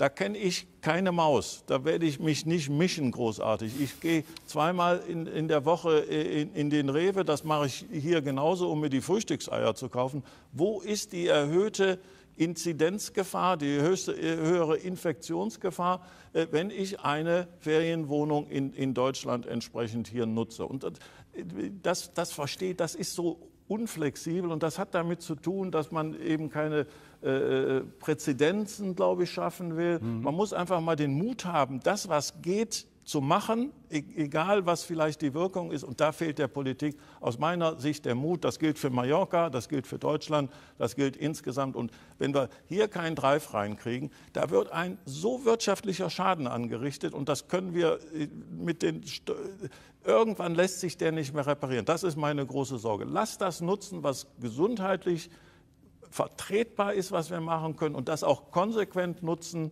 Äh, und äh, dann kriegen wir auch, was die Bevölkerung angeht, sicherlich schon eine höhere Gefolgschaft, äh, was die entsprechenden Maßnahmen angeht. Äh, weil das sind die Beispiele, wo die Leute sagen, das ist ja ein Irrsinn, was hier passiert. Also beim Thema Quarantäne haben Sie, glaube ich, den Nagel auf den Kopf getroffen. Es gibt jetzt auch einige Gerichtsurteile genau zu dem Thema, zum Beispiel das Oberlandesgericht Münster, wenn ich das richtig genau. weiß. Aus diesem Grund ist in NRW die Quarantäneregelung äh, gekippt worden. Aber nochmal zurück zu meiner eigentlichen Frage, nochmal an Anke Bode und Herrn äh, Kunz. Äh, wie schnell kann hochgefahren werden? Und Frau Hedorfer, vielleicht können Sie auch nochmal gleich zwei Sätze zum Thema Quarantäne sagen und was das mit ausländischen Gästen denn macht? Aber ich würde zunächst das Wort der Angebote geben. Ähm, ich schließe mich dem Herrn Fiebig vollumfänglich an. Ich sehe aber noch ein ganz anderes Problem beim Hochfahren. So schnell wird es nicht funktionieren. Unsere Mitarbeiter sind seit einem Jahr in Kurzarbeit und die Fachkräfte sind zum Teil abgewandert in andere Branchen, in krisensichere Branchen. Äh, und äh, wir werden erstmal das Problem haben, dass wir wieder Personal finden müssen. Ich denke, das ist nicht nur im Reisebüro und beim Reiseveranstalter, sondern auch in der Gastronomie, in der Hotellerie so, ähm, dass dort äh, die Fachkräfte fehlen werden. Und ähm, denke, das wird uns vor eine echte Herausforderung stellen. Norbert Kunz. In bestimmten Segmenten geht es ganz schnell. Eine Ferienwohnung kann schnell aufgeschlossen werden. Es gibt andere Segmente, da rechnen wir schon mit 14 Tagen. Da müssen ja Lieferketten auch wieder in Gang gesetzt werden. Ähm, aber das, das ist schon das richtige Beispiel, was Herr Fiebig auch gerade nannte. Ähm, Ferienwohnungen äh, haben keinen einzigen Cent gesehen äh, bei den Rettungshilfen. Das Weil die alle privatwirtschaftlich arbeiten und kein Gewerbe angemeldet kein haben. Gewerbeschein, mhm. Kein Gewerbeschein, aus Vermietung und Verpachtung sozusagen geben die das an. Äh, das heißt aber nicht, dass die, kein, dass sie nicht investieren. Die investieren in Qualität, die investieren in Qualitätssiegel. Die investieren in, die, in, die, ähm, in, in, in, das Marketing auch ihrer Ferienwohnungen. Und äh, wir haben 10.000 Anbieter in Deutschland, die an der Stelle völlig ohne ohne irgendeine Einnahme dastehen und natürlich auch überlegen, Stichwort, äh, was Frau Butter auch gerade sagte, wollen wir überhaupt noch auf diesem unsicheren Markt bleiben oder verlassen wir das Geschäft? Und das wäre das Schlimmste, was uns passieren kann, wenn die Bereiche, die sicher sind, nur weil die Politik nicht handelt, ganz, ganz hinten an die, an, die, an die Kette gestellt werden und am Ende des Tages als Angebote uns verloren gehen im Deutschlandtourismus, weil das macht ja die Vielfalt unseres Landes aus, dass wir vom Hotel bis zur Ferienwohnung, Hausboot, Campingplatz, alles im Angebot haben zu guter Qualität. Vielen Dank, Frau Hedorfer. Thema Quarantäne beschäftigt sicherlich auch den einen oder anderen Reisenden im Ausland, der nach Deutschland kommen möchte. Ja, ich, dem ist eigentlich nichts hinzuzufügen. Das gilt genauso für europäische Gäste, für Italiener, für Franzosen, für unsere Holländer, den wichtigsten Quellmarkt. Äh, Quarantäne ist ein Reisehindernis. Du brauchst die Zeit dafür, du brauchst die Flexibilität mit deinem Arbeitgeber. Also ich denke, das ist uns allen klar. Und äh, genauso ist es eben testen, testen, testen und ähm, die Chancen nutzen und vor allem auch digitale Lösungen einsetzen. Wir haben in der ganzen Reisekette so viele Touchpoints, wo du Kontakt mit dem Reisenden haben kannst und hier auch äh, sehr viel besser Messungen beziehungsweise auch Ergebnisse prüfen kannst, als äh, wie Herr Fiebig das beschrieben hat, im Hotel oder zu Hause in der Wohnung. Vielen Dank. Wir haben Halbzeit und kommen wir jetzt zum Thema, was, welche Erwartungen haben Sie an die Politik? Und da geht meine erste Frage nochmal an den Präsidenten des DRV, Herrn Fiebig. Äh, ich hätte Sie jetzt eigentlich fragen wollen, was sagen Ihre drei Wünsche an die Politik sind? Jetzt haben Sie aber schon so viel gesagt. Also testen, testen, testen. Quarantäne macht nicht so wirklich Sinn. Und wir brauchen, müssen beim Thema Impfen vorankommen. Herr Fiebig, wird es künftig so sein, dass wir wie bei der Sicherheitskontrolle für jeder Flugreise künftig noch am Flughafen Tests machen müssen? Also wie sieht das aus in Zukunft? Prognostiziere das, ja, das wird wahrscheinlich so sein. Es sei denn, wir haben so eine äh, hohe Deckung Geimpfter, dass das, äh, die Herdenimmunität da ist und dass das nicht mehr notwendig ist. Aber ich äh, gehe davon aus, dass wir das in diesem Jahr in jedem Fall noch sehen werden. Wir werden bis spät in den Sommer, den frühen Herbst brauchen, um überhaupt jedem eine Impfung angeboten zu haben. Wenn es dann gut geht, äh, wir sind jetzt bei 5 Prozent, da, äh, da, muss noch sehr, sehr viel passieren. Aber ich glaube, das wird uns begegnen. Das wird uns vielleicht auch in Nachbarländern immer mhm. noch begegnen. Das, das Testen, was ja heute auch nichts mehr kostet, muss man sagen, gibt ja einen hohen Schutz. Und die äh, Antigen-Schnelltests, die sind ja insofern durchaus verlässlich, dass sie äh, die, die hohe Virenlast zum Zeitpunkt der Messung schon anzeigen. Und, und wenn das nicht anschlägt, das heißt nicht, dass sie es nicht haben, aber wenn das nicht anschlägt, dann haben sie auch für die nächsten Stunden sind sie kein Infektionsrisiko. Das heißt, wenn ich, äh, bevor ich in den Flieger einsteige, hier getestet werde und negativ bin, äh, dann sollte das Risiko ausgesprochen gering sein. Und wir müssen alles tun, da bin ich bei Petra Hedorfer, wir müssen alles tun, um dem Sicherheitsgefühl unserer Kunden auch gerecht zu werden. Und wenn dann noch ein zusätzlicher Test dazugehört, dann sollten wir den auch machen. Impfung steht ganz vorne und parallel müssen wir aber endlich auch zu diesem Testverfahren kommen, um diese blöde Quarantäne abzuräumen. Und meine Forderung ist, Politik, besinnt euch endlich mal, Platz, äh, quatscht nicht weiter unsere Branche hier kaputt äh, und guckt euch, genau, äh, guckt euch genau an, was geht und das, das setzt ihr um und was nicht geht, das wollen wir auch gar nicht machen. Wir haben genauso ein hohes Interesse äh, wie ihr Politik daran, dass wir äh, hier unsere Kunden, unseren Kunden, die nicht einem hohen gesundheitlichen Risiko aussetzen und auch das Gleiche gilt ja für unsere Mitarbeiter. Klare Worte von Norbert Fiebig. Liebe Anke Bode, die nächsten Demonstrationen äh, sind schon wieder geplant. In der Woche, wo die Ministerpräsidenten zusammenkommen, haben die Reisebus, glaube ich, wieder eine Demo in Berlin ähm, ge geplant. Letztes Jahr schon, ich glaube, du warst auf jeder, die so möglich war. Ich war ähm, meistens die Anmelderin, das, ja. Du warst die Anmelderin, du hast das organisiert, richtig. Also offensichtlich habt ihr noch nicht den Glauben verloren, dass ihr auch damit was erreichen könnt. Also das würde mich nochmal interessieren, wie du das einschätzt und mit Blick auf die äh, nächste Runde der, der Hilfen. Also es ist ja nicht davon auszugehen, dass am 1.7., wenn aktuelle, das aktuelle Hilfsprogramm ausläuft, gewissermaßen alles wieder okay ist, sondern was wünschst du dir auch aus, mit Blick auf die Reisebüros, auf die Reiseveranstalter, auch dann von der Überbrückungshilfe 4, die dann hoffentlich ab dem 1.7. kommt? Also durch die Tourismusdemos haben wir natürlich eine gewisse Aufmerksamkeit auch endlich in der Politik erreicht. Ähm, ich denke, die werden auch in Zukunft notwendig sein, aber das wichtigste Signal, was eigentlich an die Politik zu senden ist, die Forderungen haben sich ja verändert. Ja, Überbrückungshilfen sind auch in Zukunft wichtig und es muss auch eine Überbrückungshilfe oder eine nach der Überbrückungshilfe geben, weil es wird eine Krise nach der Krise geben. Äh, wir werden einen Tourismusaufbaufonds benötigen, äh, um weil die Betriebe so viel sagen, von der Substanz aufgebraucht haben, weil die Altersvorsorge weil nicht mehr da ist. Weil die Substanz aufgebraucht ist, die Altersvorsorge sind da. Ähm, aber es muss natürlich auch erstmal massiv jetzt wieder investiert werden.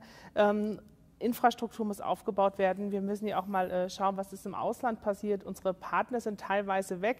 Ähm, wir sind hier natürlich in Deutschland schon sehr dankbar, auch für die Überbrückungshilfen, die wir bekommen haben, weil das ist natürlich keine Selbstverständlichkeit. Ähm, Im Ausland sieht das ganz anders aus und äh, dort werden wir ähm, erstmal wieder aufbauen müssen, die Infrastrukturen schaffen müssen. Wir müssen in, natürlich auch stark in Digitalisierung jetzt endlich investieren. Ist natürlich auch so die, äh, wie ein Brennglas gewesen, Corona. Wo hakt es in unserer Branche? Was können wir besser machen? Wo müssen wir besser werden?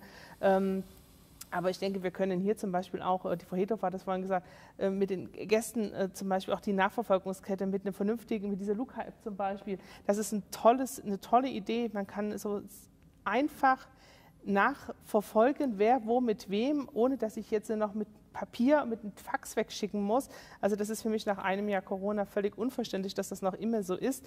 Ähm, oder wie ich jetzt äh, äh, gerade in der heimischen Presse gelesen habe, dass die äh, Gäste in den Impfzentren weggeschickt werden müssen, weil es nicht funktioniert. Das sind Sachen, die, denke ich, die kann man auf dem digitalen Wege lösen. Und da muss natürlich auch unsere Branche mitarbeiten.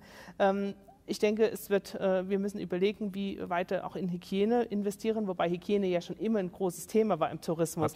also das ist jetzt nichts, was neu ist, weil der Gast möchte immer ein sauberes Hotelzimmer, der möchte immer einen, äh, am, am, sauber gedeckten Tisch sitzen. Also Hygiene war schon immer ein ganz großes Thema, aber natürlich äh, jetzt äh, mit Scheib und so weiter, mit Masken ähm, wird hier noch mehr darauf geachtet. Es können weniger Tische dann äh, im Gastronomiebereich gestellt werden.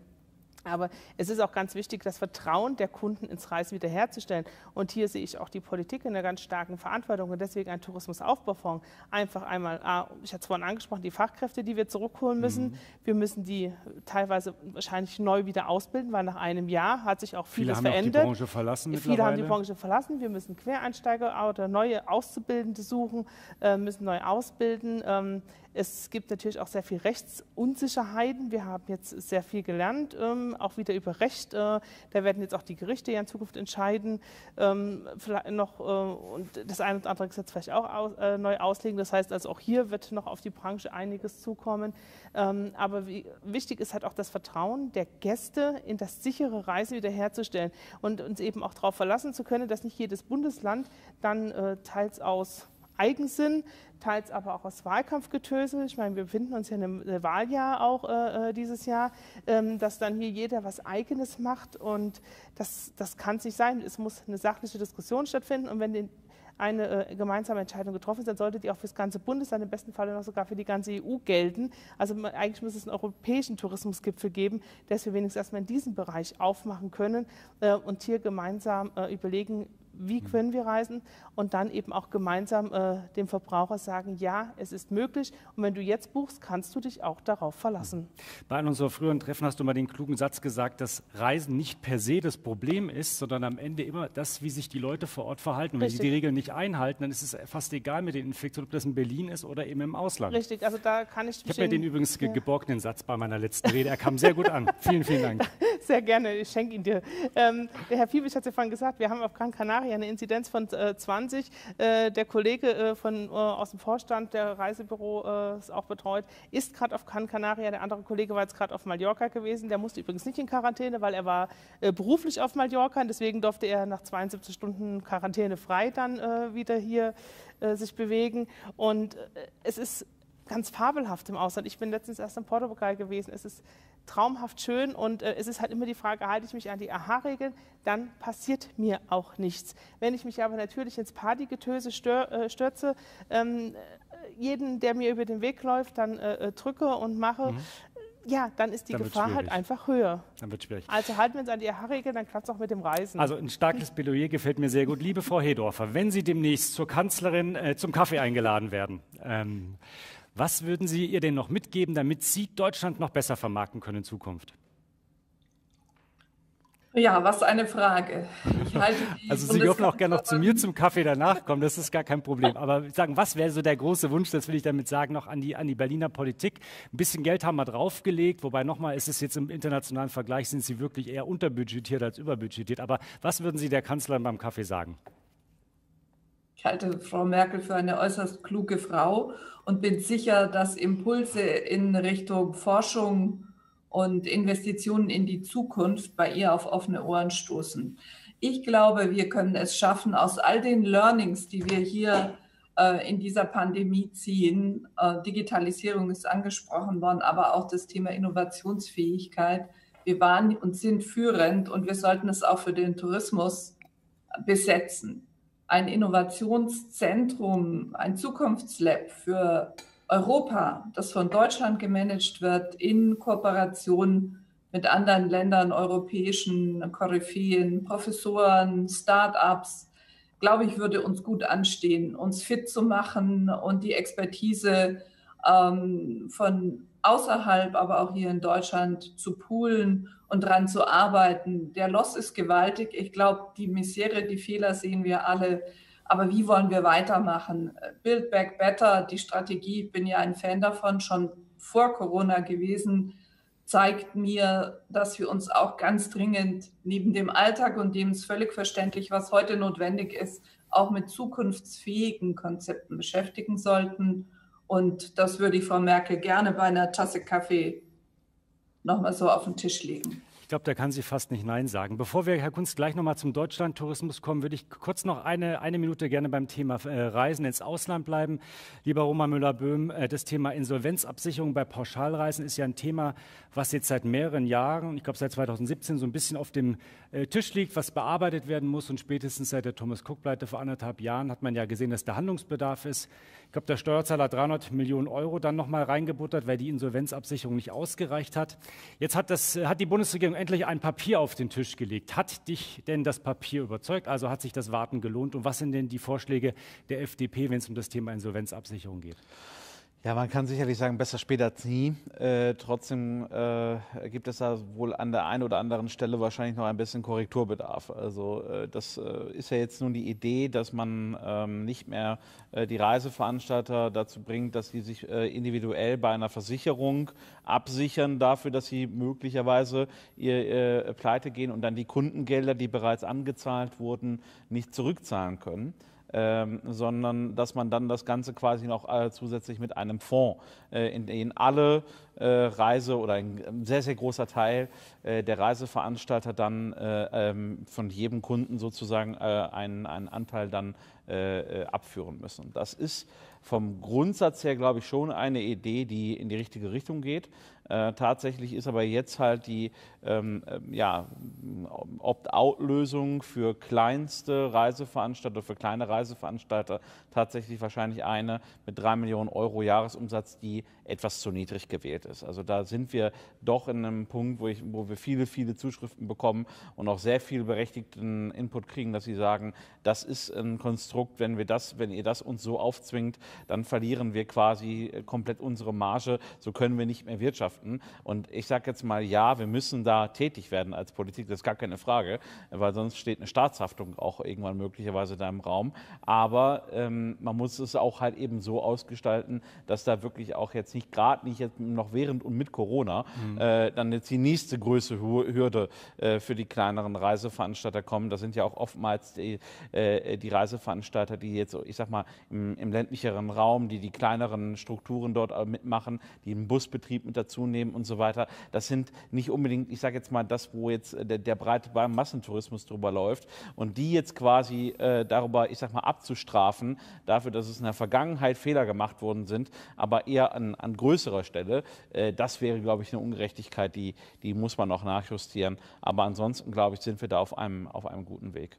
Ja, zurück nach Deutschland, lieber Herr Kunz. Was sind denn die Wünsche mit Blick auf den Deutschlandtourismus? Und mich würde auch noch mal interessieren, wir haben das schon andiskutiert, Geschäftsreisen, Messetourismus. Also wenn wir jetzt ITB in Berlin hätten, da wären die Hotels natürlich voll, die Taxis hätten zu tun und drumherum würde es auch viel Veranstaltungen geben. Vielleicht können Sie da auch noch mal zwei, drei Sätze dazu sagen, weil ich glaube, in diesem Bereich sind die Herausforderungen besonders groß. Absolut. Wir hätten uns wahrscheinlich jetzt in der Messehalle getroffen und dort auch den ganzen Tag verbracht, weil wir dort viele Termine gehabt haben. Darf ich kurz auf Herrn Roman Müller-Böhm noch mal eingehen, wegen der, weil das ist genau richtig, was Sie angesprochen haben. Ich glaube, wir müssen bei der Absicherung der Pauschalreise ja auch die Risiken im Blick haben. Ich nehme jetzt mal ein Beispiel. In Deutschland Tourismus haben wir einen, einen Gelegenheitspauschalreiseveranstalter, hat einen Freizeitpark, hat daneben gesagt, äh, Kommune hat unterstützt, äh, wir, wir, wir machen da noch ein kleines Feriendorf dahin. Ähm, das heißt, dazu gibt es dann das Ticket, die Eintrittskarte und zack ist man sozusagen drin im Geschäft. Äh, die wollen wir ja gerade sozusagen, weil die können sich auch weiterhin ähm, am, Versicherungsmarkt unter, unter äh, versichern. Das Risiko ist übrigens auch gering. Wenn dort was passiert, reicht vielleicht ein Busticket oder eine Fahrkarte mit der Bahn oder eine Ferienwohnung, haben wir darüber gesprochen. Und ähm, das ist was anderes als, sage ich mal, die Spezialreise ins Ausland oder ganz weit weg, wo eben auch die Rückführungskosten dann im Notfall eben auch extrem hoch sind. Das heißt, wir wollen sozusagen, da sind wir uns bestimmt auch einig hier in diesem Kreis, so eine Mittelstands- Deckel auch einziehen an der Stelle, damit die, die eigentlich nicht die Betroffenen sind, äh, möglichst ähm, auch ähm, am freien Versicherungsmarkt Markt. sich weiter versichern können. Wir schlagen einen Deckel von 15 Millionen Euro vor als DTV und halten den dann auch für diese Gelegenheitsveranstalter für, für sinnvoll, weil insgesamt muss natürlich was passieren, das ist auch unsere Meinung. Äh, zu Ihrer Frage, also ich möchte da direkt mit, mit Petra Hedorfer gerne äh, antworten und das auch nochmal zuspitzen. Wir haben im, im Deutschlandtourismus wenig Wissen derzeit. Wenig Wissen. Und es liegt auch an mehreren Punkten. Das liegt daran, dass wir Innovation zu wenig fördern. Der Haushaltstitel im Bundeswirtschaftsministerium für ganz Deutschland, für den Tourismus, für Innovation beträgt sage und schreibe 2,62 Millionen Euro. 2,62 Millionen Euro für eine gesamte Branche. Ähm, das heißt, wir sind da weit davon entfernt, dass der Bund Innovation im Tourismus unterstützt und fördert. Ähm, wenn man sich die staatlichen FUE-Kosten anguckt, ähm, wie viel kommt dann am Ende in den Tourismus, ist das irgendwie 0,00 und dann kommt irgendwo nach noch einer Null noch eine Zahl. Ähm, wir haben kaum noch Hochschulprofessuren. Äh, mhm. in, in unseren staatlichen Universitäten. Das heißt, es wird weder gelehrt noch geforscht an den Universitäten, noch wird sozusagen der wissenschaftliche Nachwuchs am Ende unterstützt. Das ist eine, eine Kette, die dort entsteht, ähm, wo wir wirklich Schlusslicht sind. Ähm, und da müssen wir zurück, mindestens ins Mittelfeld, wenn nicht an die Spitze des Zuges, zurück zu den Städten. Weil da wird das deutlich, da brauchen wir nämlich diese Innovation. Wir brauchen Antworten auf die Fragen, wie gehen wir mit unseren Städten um? Wie, ähm, was macht Tourismus eigentlich? Wie sieht eigentlich eine, ein, ein, Tourismus in einer Stadt der Zukunft aus? Welche Konzepte müssen da entwickelt werden? Wir haben tolle Beispiele. Wir haben das gestern gehört, ich glaube aus, aus Duisburg war das der Fall. Ähm, da hat der Radtourismus in diesem Sommer das Geschäft in den Museen, in den Theatern extrem angetrieben, weil Radtouristen, Reisemobilisten sind extrem äh, kulturaffin. Und die wollen nicht nur in die Stadt erleben, sondern sie wollen dort auch Kultur erleben. Also vielleicht sind das so Punkte, mhm. die, ähm, die man untersuchen muss und wo Städte, da bin ich fest der, fest der, der festen Überzeugung, auch eine tolle Zukunft haben werden. Es gibt Problembereiche, das ist in der Tat das die, sind die Großveranstaltungen, das, was auch Städte ausmacht. Auch da machen wir uns andere Konzerte, Länder vor, wie es geht. Konzerte, Kulturveranstaltungen, große Sportevents. Österreich haben einen Schutzschirm für die Veranstalter. Da reichen 30 Prozent weniger Gäste und der Schutzschirm spannt sich über die Veranstalter auf. Ich frage mich, wo ist in Deutschland ein solcher Schutzschirm? Was Österreich kann, können wir doch schon lange. Also ich finde es ein spannender Impuls, äh, wenn wir beim Thema Know-how sind, was viele nicht wissen. Äh, das Referat, das Tourismusreferat im Bundeswirtschaftsministerium, dem federführenden Ministerium für den Tourismus, das hat äh, zehn Planstellen, wenn ich das richtig im Kopf habe, und die sind nicht mal alle besetzt. Und wir sprechen hier von der, einer der Top drei Wirtschaftsbranchen in Deutschland. Ich glaube, auch die Politik muss in Sachen Know-how aufrüsten. Und ich glaube auch, dass äh, die Beratung, die wir haben, wirklich ausgebaut werden muss. So, jetzt kommen wir langsam auf die Zielgerade zu unserem letzten Themenschwerpunkt, nämlich wie geht es weiter? Wir wollen den Blick zusammen jetzt nach vorne richten. Und da fange ich mal an mit Frau Hedorfer in Frankfurt. Vielleicht können Sie uns noch mal darstellen, was sind denn aus Ihrer Sicht die großen Zukunftsthemen, Trends im Tourismus? Ich denke mal, das Thema Nachhaltigkeit werden Sie gleich ansprechen. Aber was ist daneben noch in den nächsten Jahren zu erwarten? Ja, zuallererst hoffe ich, dass wir zu alten Wachstumszahlen wieder aufschließen können. Ich habe es gesagt, aus Kundensicht besteht Hoffnung. Wir brauchen dafür eine Infrastruktur, die offen ist, haben wir eben auch angesprochen. Also werden die Theater, äh, die ganzen Kulturbetriebe, die Off-Szene, äh, Frau Budde hat es erwähnt, werden die überleben? Ist das Angebot nach wie vor da?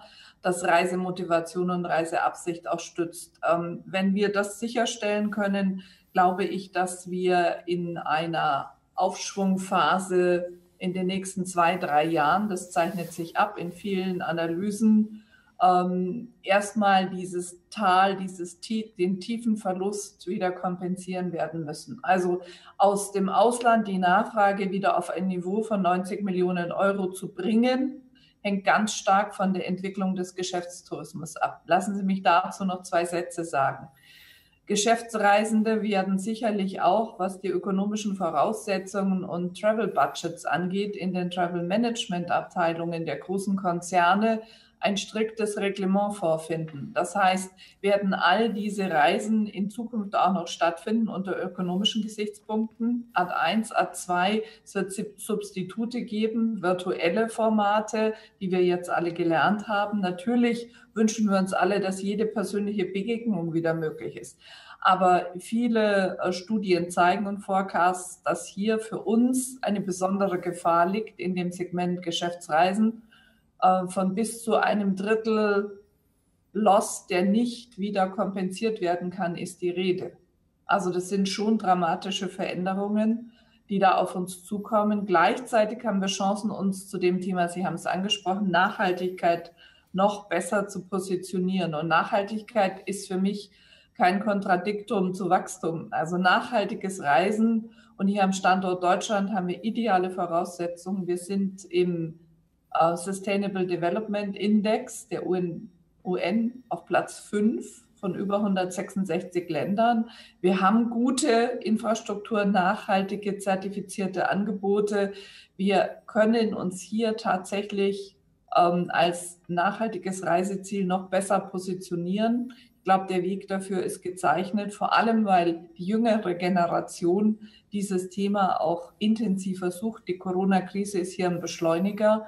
Gestern haben wir bei Euromonitor und Statista auch während der Eröffnung, Norbert Fiebig war ja dabei zur ITB, sehr interessant gesehen, dass das Thema Nachhaltigkeit in vielen Surveys rasant an Bedeutung gewinnt. Mag sein, dass das in unterschiedlichen Quellenmärkten noch unterschiedlichen Niveaus ist, aber hier haben wir eine Chance.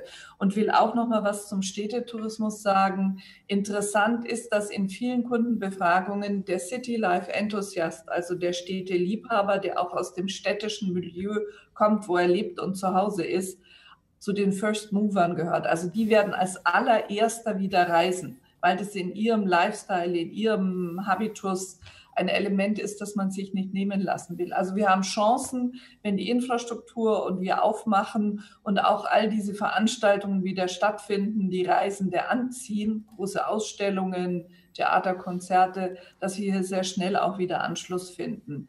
Die Nachhaltigkeit per se verknüpft mit dem Thema Innovation ist, glaube ich, eine gute Kombination. Wir haben darüber gesprochen.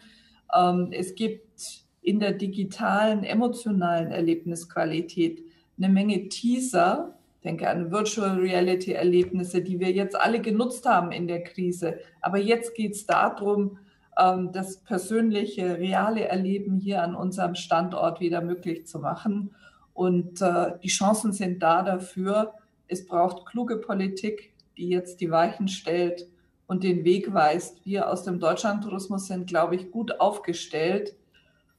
Helft den Unternehmern, diese wirtschaftliche Lage zu überwinden, am allerersten, indem wieder Unternehmen aufmachen können und es möglich gemacht wird, sich um den Gast zu kümmern. Ein sehr schönes Plädoyer, wie ich finde, von Peter Herdorfer, der äh, DZT-Vorstandsvorsitzenden. Herr Fiebig, wenn wir uns äh, im nächsten oder im übernächsten Jahr wieder im Rahmen der ITB treffen, was ich sehr hoffe, ähm, wo steht dann äh, der, die Reisewirtschaft zu diesem Zeitpunkt und wie pandemiefest sind wir im nächsten oder übernächsten Jahr? Also, ich glaube, in, in, in zwei Jahren äh, sind wir wieder in den alten Zustand zurück, das 2019er Niveau. Unsere Prognose ist für dieses Jahr, dass wir wenn es gut geht, und das heißt aber, dass jetzt auch Öffnungsstrategien umgesetzt werden müssen, vielleicht 50 Prozent äh, des Umsatzes des letzten Normaljahres 2019 erreichen. In 2022 rechne ich damit, dass wir wieder auf dem Niveau von 2019 sind.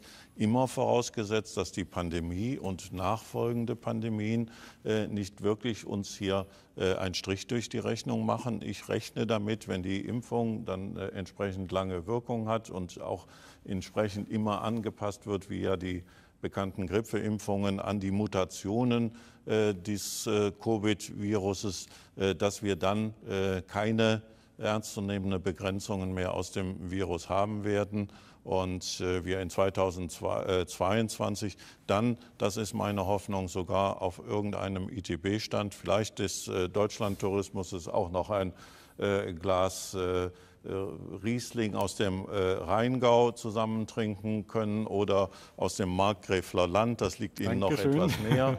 Äh, ich das noch mal Weinbaugebiet nachher ein. Also die Liste von guten Weinbaugebieten ist, glaube ich, sehr lang. Ja. Und der ja, aber kennt sich übrigens sehr gut aus, denn er hat mal in Villingen-Schwenning gewohnt bei mir daheim für einige Zeit, ja, nicht wahr? Genau, da haben Sie ein bisschen Hammerhalde ist die Adresse. genau. Ja, aber ich, ich, ich, äh, ITB, das, was da jetzt digital abläuft, ist, ist sicherlich ein Ersatz äh, aber er ist kein Ersatz für die ja sehr von persönlicher Begegnung geprägte Tourismuswirtschaft. Das vermissen wir alle sehr und ich hoffe sehr, dass in 2022 äh, die Welt auch an dieser Stelle wieder in Ordnung ist. Sie haben das sehr schön gesagt, der Tourismus führt im Grunde die ganze Welt zusammen und bringt Menschen vor allen Dingen zusammen. Das ist, glaube ich, eine der ganz großen Stärken. Lieber Roman Müller-Böhm, in so einer Krise liegt ja immer auch eine Chance. Äh, glaubst du denn, dass der Tourismus politisch gesehen sagen, gestärkt auch aus dieser Krise hervorgeht? Äh, es ist jetzt auch viel auf der Straße passiert mit Demonstrationen, was ich wirklich super fand. Und wann bekommen wir endlich unser Tourismusministerium im Bund? Ja, also ich glaube in der Tat auch, dass das letzte Jahr da durchaus, hm, wenn man so will, äh, da mal der, ein positiver Gamechanger in der Politik war, ähm, äh, was den Tourismus angeht. Äh, aber äh, ob es jetzt gleich ein Tourismusministerium gibt, das weiß ich nicht. Äh, das muss man sagen. Ähm, ich äh, würde mich sehr darüber freuen. ich werde auch mich weiterhin sehr stark dafür machen, dass der Tourismus da an der Stelle auch in der Politik den entsprechenden, entsprechenden Rückhalt hat. Ähm, wir werden dann sehen, wie es dann mit den Koalitionsverhandlungen Ende des Jahres läuft und ob da dann halt eben ein, ein Tourismusministerium dabei herauskommt. Ich sag mal, äh, wir haben, glaube ich, aber alle jetzt gesehen, angemessen und äh, in der Sache selbst wäre es, glaube ich, äh, wohl auf jeden Fall. Und ähm, dann schauen wir mal, äh, was äh, die Wahl dann am 26. September so bringen wird. Mir ist nur aufgefallen, tatsächlich da, wo in den Ländern der Tourismus sehr prominent auch im Ministerium verankert ist, ich denke jetzt mal an Schleswig-Holstein, läuft jetzt wahrscheinlich über Ostern mehr als in den Bereichen, wo der Tourismus vielleicht eben nicht den Stellenwert hat, äh, der ihm eigentlich gebührt. Ja, äh, lieber Herr Kunz, ähm, was sind denn die Trends im Deutschlandtourismus? Äh, wie schätzen Sie das ein? Also Nachhaltigkeit, Digitalisierung auf jeden Fall. Natürlich das, was ich sagte, ähm, auch an vielen Stellen Hausaufgaben machen, ähm, auch die Folgen der Krise bewältigen. Stichwort Mais, Städtetourismus. Ähm, und wenn uns das gelingt, ähm, dann bin ich da wirklich sehr optimistisch, dass der Deutschlandtourismus schnell wieder rauskommt aus der Krise ähm, wahrscheinlich sogar schneller als, als, als andere Bereiche des Tourismus, ähm, ja. ähm, weil, weil die Menschen ja, es ist ja auch viel Psychologie, die Menschen verlassen sozusagen ihr, ihr Homeoffice ähm, und der Radius wird immer weiter, ja, gehe ich davon aus. Ähm, wir werden Bereiche haben, die werden sehr schnell starten. Wir werden, wenn es funktioniert, natürlich Camping haben, Reisemobile, Bootstourismus, die Hausboote, die Ferienwohnungen, über die wir gesprochen hatten, überhaupt die Unterkunftsbetriebe werden wieder öffnen. Und eins ist mir wichtig, und das gilt in Deutschland wie überhaupt beim Reisen auch weltweit. Nur ein geöffneter Tourismus kann auch für Sicherheit sorgen. Nur ein geordneter, geöffneter Tourismus kann auch für Sicherheit sorgen. Wir werden sonst erleben, dass die Menschen ohne dass sie sozusagen die hervorragenden Schutz- und Hygienekonzepte haben, an Flughäfen oder an Großveranstaltungen, dass sie trotzdem sich treffen und begegnen wollen. Und deswegen glaube ich, spricht auch dieser Aspekt sehr dafür, den Tourismus jetzt schnellstmöglich wieder eine Chance zu geben. Wir sind bereit als Branche, alle zusammen. Unsere Mitarbeiterinnen und Mitarbeiter brauchen das ähm, auch wieder zu öffnen, weil sie sonst gar keine Perspektive haben und ans Aufgeben weiter nachdenken müssen. Ähm, wir haben, wir haben äh, einen Aspekt, auf den ich noch hinweise, wir brauchen einen sicheren Staat. Das ist mir sehr, sehr wichtig. Die Branche verkraftet, glaube ich, nicht einen sogenannten Jojo-Effekt. Also, mhm. dass wir äh, in eine Situation kommen, wo wir aufmachen und dann kurze Zeit später wird wieder gesagt, das war's, wir müssen alle wieder, wir müssen alle wieder runterfahren. Das heißt, wir brauchen wirklich einen sicheren, geordneten Neustart des Tourismus und das richtig am 22. März, wenn die Ministerpräsidenten sich treffen. Eigentlich schon viel zu spät, aber spätestens zu diesem Tag muss dieses Signal an die Branche gehen. Also hoffen wir wirklich im Sinne des Tourismus, der Tourismuswirtschaft, dass da ein ganz starkes Signal am 22. ausgeht. Und äh, das ist, glaube ich, auch der spätmöglichste Zeitpunkt, ja. um so ein bisschen auch äh, positive Signale in die Branche zu setzen. Ankebode, ähm, ich habe ja, also Roman und ich, äh, hat übrigens jedes Reisebüro in NRW, glaube ich, besucht, was es da so gibt. Also er war unglaublich fleißig. Aber wir haben ja viel Kontakt auch mit, mit vielen Mitgliedern von dir, insgesamt der Branche. Und äh, ich treffe immer Leute, für die das echt ein Traumberuf ist, die das unglaublich gerne machen mit Herzblut. Aber trotzdem, das hattest du vorher schon mal angedeutet, gibt es natürlich jetzt viele nach einem Jahr in der Kurzarbeit, die vielleicht auch sich kritisch überlegen, ist das eigentlich noch hat das noch eine Zukunft? Ist das eine, eine, Sache, die ich weitermachen möchte? Was müssen wir denn machen? Was würdest du dir wünschen, damit eben weiterhin so viele tolle Persönlichkeiten auch äh, in der Reisewirtschaft bleiben? Also die Tourismusbranche wird auch weiterhin ein Traumberuf bleiben. Es ist nun mal die schönste Branche von allen. Und das sage ich aus voller Überzeugung, äh, da ich vor 20 Jahren quer eingestiegen bin aus der Industrie in den Tourismus. Ähm, wichtig ist, dass wir politische Rahmenbedingungen bekommen, die unseren Unternehmen eine Zukunftsperspektive geben. Also wir, unsere Branche hat sich ja auch in den letzten Jahren schon sehr verantwortungsbewusst auch immer gezeigt. Wir haben uns mit Overtourism auseinandergesetzt. Nachhaltigkeit spielt ein ganz, ganz wichtiges, äh, eine ganz wichtige Rolle in äh, den Reiseplanungen ähm, und auch in den äh, Umsetzungen der ähm, Reiseveranstalter. Und unsere Reiseberater haben gerade in den letzten Monaten exzellente Arbeit geleistet, sei es auf Reisebüro- oder Reiseveranstalterseite wir haben wirklich exzellente Beratung geleistet. Und ich glaube, das ist etwas, was auch die Gäste mitgenommen haben, dass wir da waren, dass wir Ansprechpartner waren, ähm, dass wir geholfen haben. Und deswegen wird diese Branche auch in Zukunft Bestand haben und die persönliche Beratung wird auch in Zukunft eine ganz wichtige Rolle spielen. Und ich kann jeden nur ermutigen, äh, sich dieser Branche anzuschließen und hier zu arbeiten, weil es macht einfach wahnsinnig viel Spaß. Ja, und ich will noch mal einen Schritt weiter gehen. Ich kann auch jeden ermutigen, dass er wirklich auch einfach auf sein lokales Reisebüro zugeht, ja. äh, vielleicht auch äh, als Unterstützung. Ich habe jetzt gerade Kontakt mit einem südbadischen Reisebüro und habe eine wirklich ganz tolle, ganz, ganz tolle Beratung, muss ich sagen. Äh, ich habe was gebucht in Deutschland, aber auch im Ausland. Also im Grunde bringe ich alles gut zusammen. Das muss ich an dieser Stelle sagen. Ja, wir kommen jetzt, meine sehr verehrten Damen und Herren, zur letzten und vielleicht spannendsten Frage unserer heutigen Veranstaltung. Okay. Und ich würde gerne mit Frau Hedorfer anfangen. Und die Frage an alle lautet, haben Sie denn eigentlich schon Reisepläne für dieses Jahr? Und wenn, wo geht es denn genau hin, Frau Hedorfer? Ja, ich habe viele Reisepläne für dieses Jahr. Ich muss ja eine Menge nachholen. Äh, zuallererst geschäftlich die Standorte der DCT im Ausland besuchen. Ähm, die Kollegen dort haben auch ähm, eine harte Zeit hinter sich. Ich will anfangen mit Paris und dann nach Italien weiterfahren. Privat reise ich nach Bayern, nicht weil ich nicht ins Ausland fahren will, sondern weil ich die Familie jetzt lange nicht gesehen habe. Meine Mutter ist über 80 und sie ist geimpft. Also das heißt, es steht einem Treffen jetzt auch wenig im Wege. Augsburg, die Renaissance und Fuggerstadt ist immer eine Reise wert.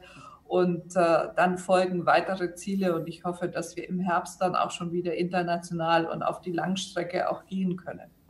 Herr Kunz, wo geht es bei Ihnen in diesem Jahr hin?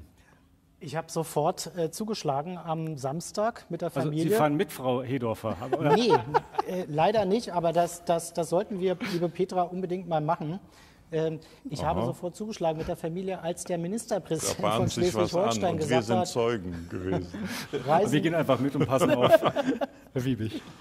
Reisen, Reisen kann er sich auch zu Ostern vorstellen. Und ich habe in der Tat in Schleswig-Holstein mit der Familie eine Ferienwohnung gemietet.